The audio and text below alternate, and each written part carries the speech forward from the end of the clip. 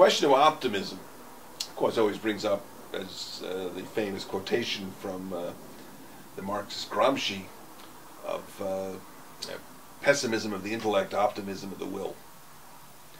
Uh, really, optimism is not the question at all. The decision for to be for anarchism is not a matter of uh, prediction. It's a matter of commitment, of saying that I'm going to commit myself to this, and I want to persuade other people to commit themselves to it. It's uh, not anarchism is not only a better way of human beings to live together, work together, as I believe it is, but it's also necessary if the human species is to avoid massive destruction on a world scale. We need a better way of living, a better way of organizing things. And uh, I believe that there's a chance for that. I believe that history is not over. Uh, you can look out the window and see everything looking just the way it's been, you know, year in and year out. But then every now and then something happens. As look at Cairo, look at the struggles through North Africa.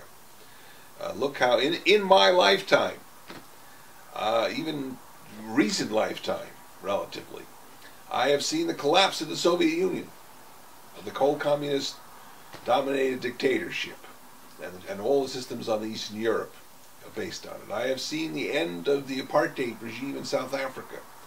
I've seen the end of the fascist regime in Spain and Portugal. Uh, I've seen the independence, well, earlier on, the Cuban Revolution, I was much younger then. Uh, these and other changes, now these haven't solved the problem. Struggle continues on a different level.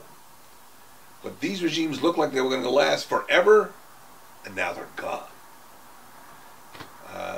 We can't tell when the next upheaval will come. We can't really tell. We can. It's sort of like sometimes I've been feeling like a, a geologist who's telling people don't build new houses in uh, California because at some point there's going to be a great big earthquake. We know that t- t- tectonic plates are moving. Someday there'll be the big one. And people say, well, when will that happen? And the answer is, I don't know when it'll happen. Could happen tomorrow. It could happen in a century. Uh, except uh, dealing with human, with classes as opposed to geological strata, you're dealing with people who have free will, to consciousness, who change their minds, and so forth. So it's even harder to predict. Uh, I think there are signs of struggle of change is coming. I do not know. I do not know it will live. I am not going to even think about what's most probable. In that case, you might as well think about, you know, tickets to New Zealand or something, uh, or South Africa, but uh, someplace far away from the center.